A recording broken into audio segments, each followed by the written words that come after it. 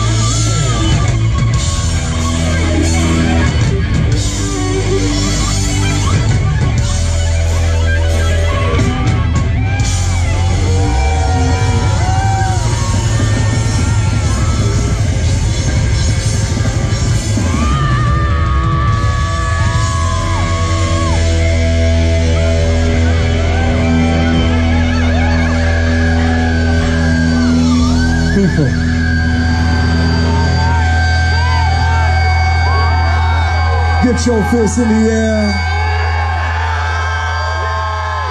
What the hell's going on?